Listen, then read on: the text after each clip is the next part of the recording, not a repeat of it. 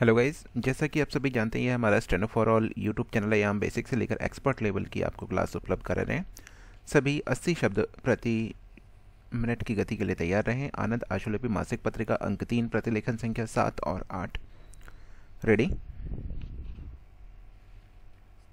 अध्यक्ष महोदय, हमको अनेक परिवर्तन अवश्य ही करने हैं और मैं स्वीकार करूँगी कि रास्ता बिल्कुल साफ़ नहीं है और उसे बनाना हमारा काम है।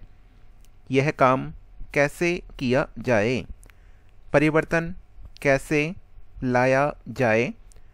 इसे निश्चित करने के लिए भी हम आपके सहयोग और सहायता से नीति निर्धारित कर सकते हैं।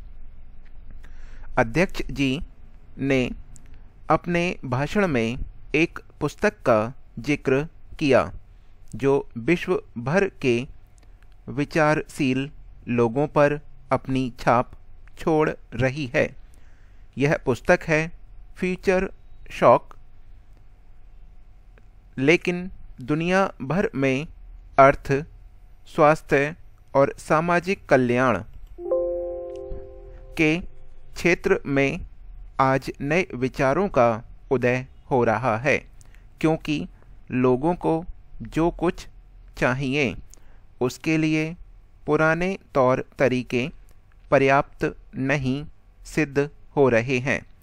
हो सकता है कि हमारे यहाँ की नौजवान पीढ़ी को यह बात का वैसा एहसास ना हो, जैसा कि अन्य देशों के विचारशील, विकासशील लोगों को है।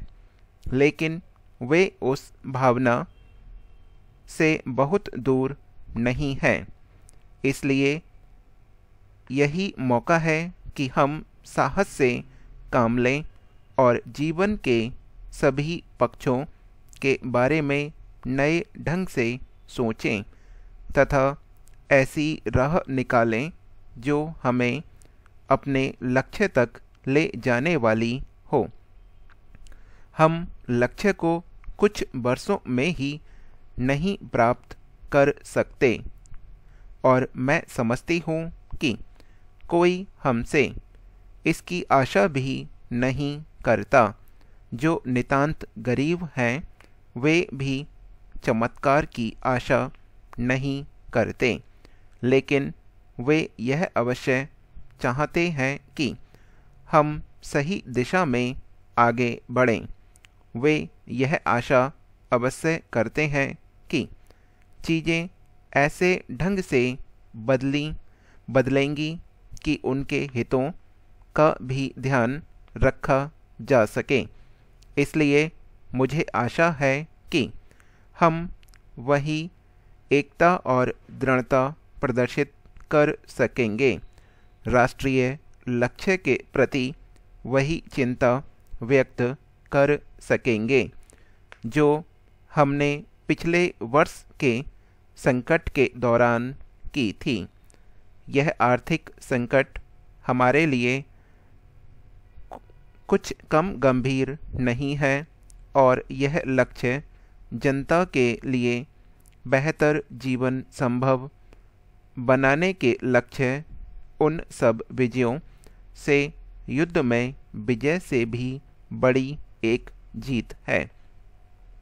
हमने पश्चिम की आर्थिक और वित्तीय प्रणाली को अपनाया है और हम प्रगति तथा विकास का मूल्यांकन पश्चिमी मापदंडों से करना चाहते हैं, जो हमारे यहाँ की परिस्थितियों में संगत नहीं है।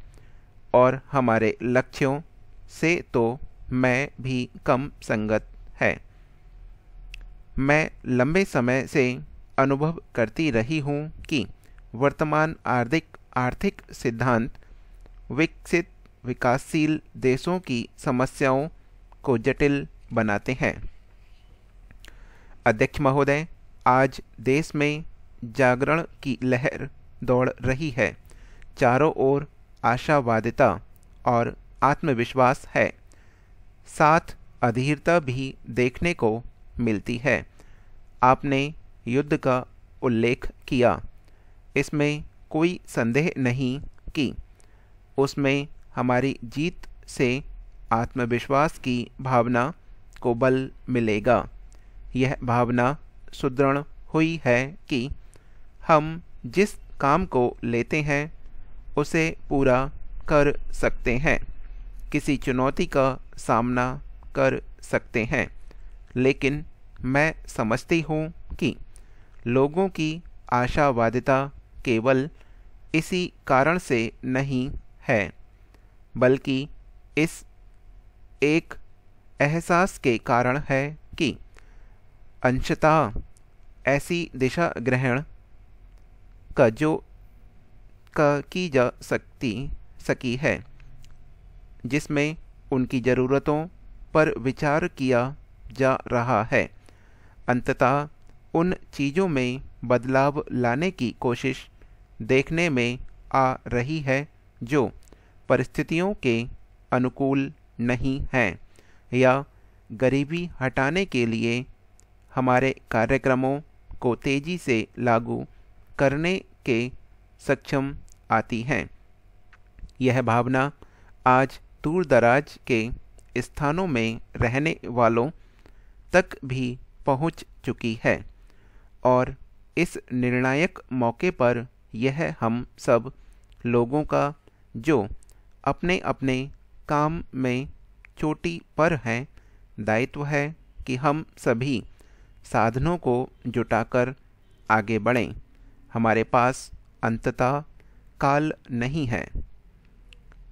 जैसा कि मैं पहले एक मौके पर कह चुकी हूँ कि हमें अगले तीन या अधिक से अधिक चार वर्षों में निर्णायक कदम उठा लेने हैं। अगर इस दौरान हमने यह दिखा दिया कि हमारा रास्ता लोकतंत्र का है, शांति का सहयोग का है, एक दूसरे की मदद करने का है। अगर तीन या चार वर्षों में हम यह दिखा सके कि यह रास्ता हमें आगे ले जाता है, तब मैं समझती हूँ कि हमें भारत के भविष्य को लेकर किसी तरह की आशंका पालने की आवश्यकता नहीं है। लेकिन अगर हम इसमें किसी भी कारण से असफल रहे, चाहे सरकार की गलतियों से या उद्योग व व्यवसाय की त्रुटियों से या एक वर्ग द्वारा अन्य वर्गों की अपेक्षा अपने अधिकारों को और ज़रूरतों के बारे में अधिक तीव्र भावना के कारण तो हम सबको एक साथ कठिनाइयाँ झेलनी होंगी। किसी एक या दूसरे वर्ग को नहीं, बल्कि पूरे देश को।